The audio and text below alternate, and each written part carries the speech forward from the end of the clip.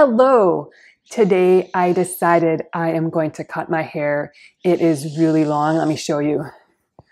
Dump. Goes down and down. I actually sit on my hair. It is so long and you can just see it's like, whoa. It has been um, five years. Yes, five five years since I last got a haircut. You might think, why has it been so long? Haircuts are expensive, so that's why I got scissors and I'm going to try to cut my hair. And I read online, they said, do it when it's wet. Check. Sharp scissors, brand new. Check, check, check. and they said, only cut a half inch to an inch at most, or you'll regret it. And I'm thinking, no, I have a lot of hair. I'm going to cut and cut and cut. so here we go. I've never done this. I don't know.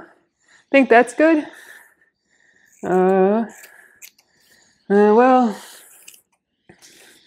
so bye bye.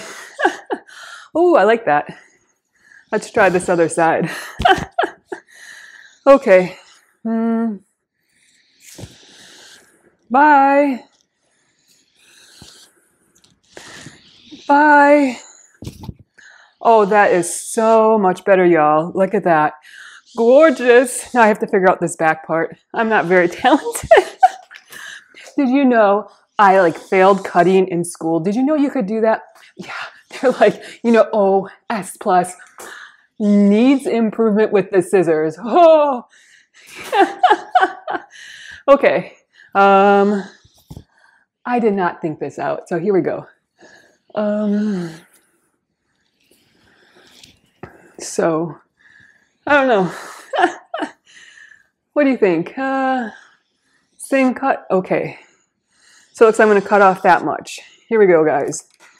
Here we go. Ooh, look at all that hair. Bye. Okay. I think that might have been okay. I don't know. Well, we'll find out. So, you know, stay tuned to my videos to find out if I actually did my hair right or something. I don't know. Thanks so much for joining me. Bye.